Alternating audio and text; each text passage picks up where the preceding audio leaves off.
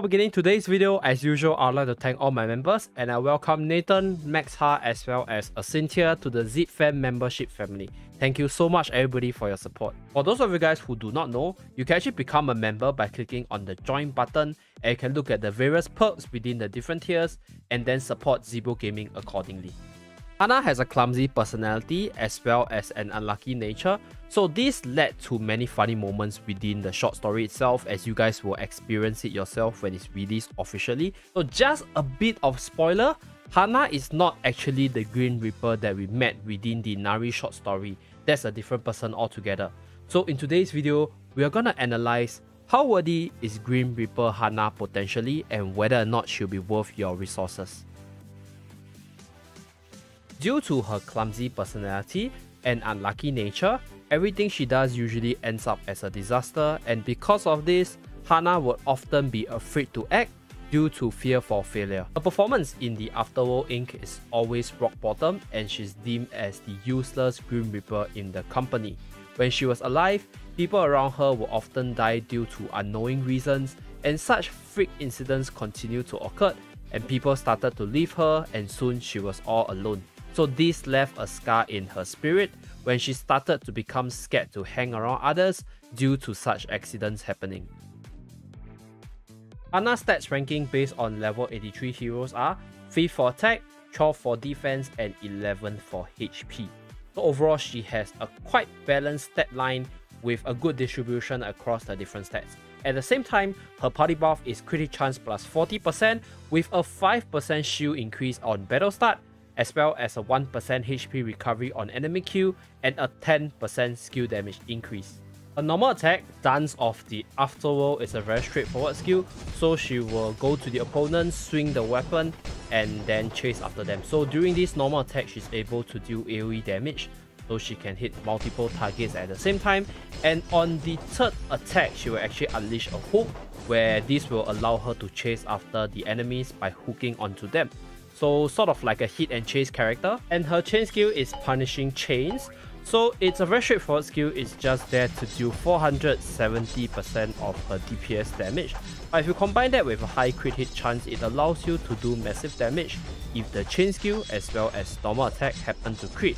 However, one thing about the chain skill is in usual arena battle, it's kinda hard to actually unleash your chain skill because her weapon skill takes around 3 to 4 weapon skills to fully crowd control your enemy. So that's why the chain skill is very rare, but it has a very nice animation and a really nice sound effect. Her special ability is Immortal Authority, and when her HP becomes 0, she immediately recovers 10% of her HP and becomes invincible for 4 seconds. So during this invincible state, her attack speed as well as movement speed is increased by 30% for 10 seconds. So this ability has a cooldown of 60 seconds and in most cases, it's not very feasible to assume that you can use it multiple times because within Colosseum, I think she dies pretty easily or rather she won't last until the second cycle of this skill so that's that. And within the raid itself she doesn't really have any need for this ability because within raid you usually don't die and that's why this ability is relatively obsolete there. So the best scenario for this skill is to use within the arena itself. So within arena i think this skill is superb for counter killing your opponent and buying yourself additional time to perform your weapon skill to chain your enemies and perform the reverse kill. So her exclusive weapon is known as Unchained, which is an epic staff, providing additional crit chance, defensive stat in HP and defense, as well as a bit of offensive stat in terms of skill damage and weapon skill regen speed. So on hit, it allows her to inflict a scar on the enemy to do additional 60% DPS. It also allows her to recover damage or recover HP equal to the inflicted damage. It's like a lifesteal mechanics but slightly weaker compared to Kamael.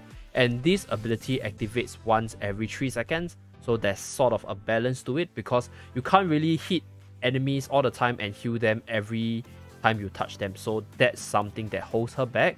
Her exclusive weapon skill is known as Deathly Terrifying, which have a relatively low DPS of 140%, but a super duper low regen time.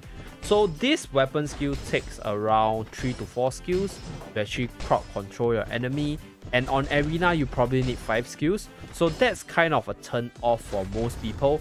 But do remember that the regen time for this weapon is super duper low. So it's a super spammable weapon.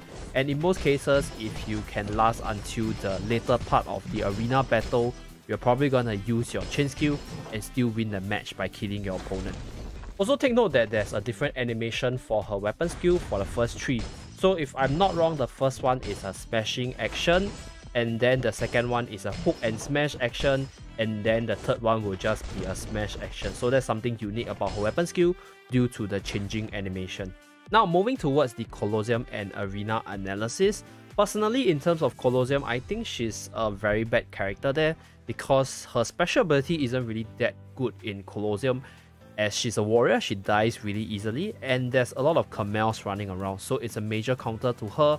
And even if on paper their ability seems very amazing, the buff from their ability is just not that good under a Colosseum setting, with so many hyper offensive teams or really tanky teams that can just out sustain you. And being a melee unit doesn't help her either, so that's why personally I don't think she'll be any good within Colosseum. So try to avoid using her unless you don't really care about your rankings. So in all honesty, I think Hanna really shines within the arena. Even though there's a lot of Kamaels running around, but I still feel that she's a really solid character there, being able to introduce more melee crit archetypes, as well as allowing you to do different combinations with her due to her flexibility in terms of party buff as well as playstyle. And without further ado, I'll just share with you guys some of my arena battles using her and let you guys see her power level and how to run her in arena in general.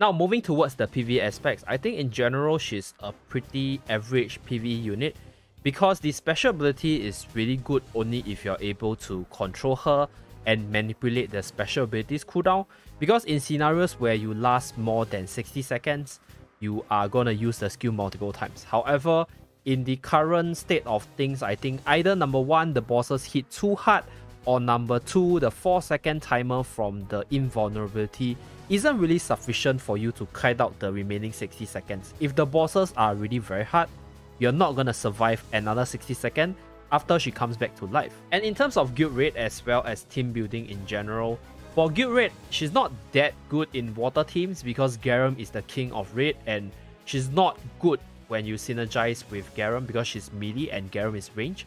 And in terms of putting her in a melee team, if you have the respective elemental stuff, such as a dark staff, you can throw her in a dark melee team. And if you have a fire staff, you can throw her in the fire melee team.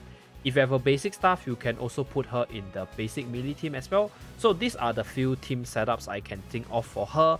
Personally, her kit isn't really meant for dealing a lot of damage, right? Even though her skill has a lot of burst, but there's no defense reduction, there's no elemental reduction. So overall, I think in terms of reach, she's probably somewhere below at the low S tier or maybe even a high A tier character. Below are some reasons for you to pull or invest in Hanna the Grim Reaper.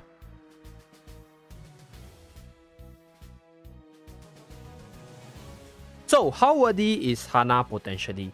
She's a pretty strong arena unit which scales really well with more stats, but she's kind of mellowed down by Kamael due to his prevalence as well as heavy counter. However, make no mistake, Hanna is a really solid arena unit outside of that matchup. And in general, I'll say that if you're pulling for her, you're probably doing it for the arena as well as design purposes because that's where she excels at. And her short story is pretty dope so stay tuned for her short story. And thank you very much for watching. Do remember to like and subscribe in order to see more videos from this channel. And i'll see you guys again in my next video bye guys